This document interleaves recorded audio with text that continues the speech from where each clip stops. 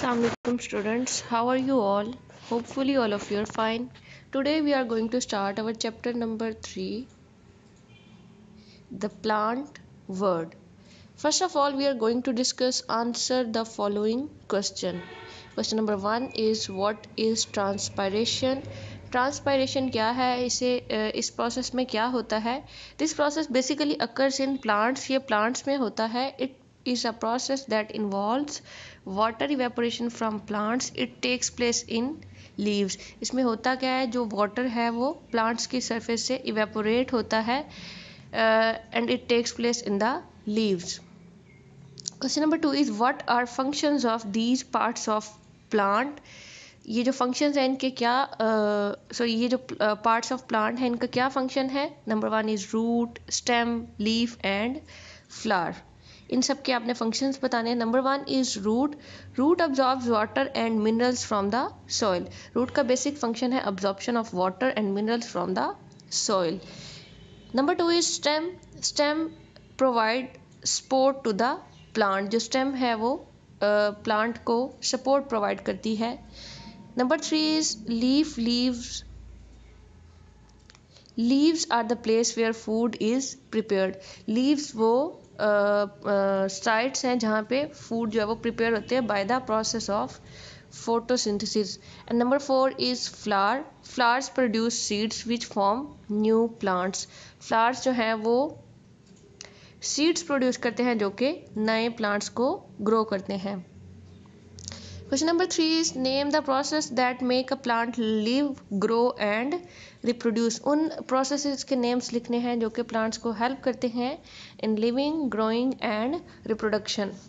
so these are the four process which are involve in the growth and reproduction of plants number one is photosynthesis photosynthesis से क्या होता है? Food uh, prepare होती है. Number two is transpiration number three is transportation transpiration वो process है जिसमें water evaporate करता है। ट्रांसपोर्टेशन में क्या होता है? फ़ूड और वाटर पूरे प्लांट बॉडी में मूव करता है। And lastly number four is reproduction reproduction is a process through which new generation are formed question number four is explain transportation पहले हमने ट्रांसपायरेशन को डिस्कस किया है, अभी हम ट्रांसपोर्टेशन को डिस्कस करेंगे। Transportation is the process in which plants transport food and water. Plants have tubes that transfer food and water. They are called xylem and phloem. Plants में tubes होती हैं जिन्हें हम कहते हैं xylem and phloem और xylem और phloem क्या करती हैं food और water को transport करती हैं throughout the body of plant. Xylem जो है वाटर को ट्रांसपोर्ट करता है और फ्लोइम जो है, वो फ़ूड को ट्रांसपोर्ट करता है। What part does the leaf play in the growth of plant leaf जो है, वो किस तरह से प्लांट की ग्रोथ में हेल्प करता है? The leaf is where food is produced leaf वो पोर्शन है प्लांट का पार्ट है, जिसमें फ़ूड प्रिपेयर होती है। अगर फ़ूड प्रिपेयर होती है तो वो उसको ग्रो करने में हेल्प करता है। this system of producing food is called photosynthesis इसे क्या कहते हैं photosynthesis next we have tick the best option here we have the five different statements and we have to choose the best option for each number one is transport water up the plant a stem b root c leaf and number four is flower इनमें से आपने बताना है कि कौन सा वो portion है जो कि ट्रांसपोर्टेशन में हेल्प करता है। So correct answer is stem plant reproduction involves dash plant production किस तरह से होती है? By photosynthesis fertilization transportation and transpiration plants में रिप्रोडक्शन होती है थ्रू द फर्टिलाइजेशन क्योंकि फोटोसिंथेसिस से फ़ूड प्रिपेयर होती है ट्रांस ट्रांसपोर्टेशन से फ़ूड ट्रांसफ़र होती है एंड वाटर एंड ट्रांसपायरेशन से वाटर जो है वो इवेपोरेट होता है। So correct answer is fertilization number three is the petals are usually dash and colourful petals जो हैं वो यूजली किस तरह की होती हैं? These are large small micro and none of this petals are large in size and usually colourful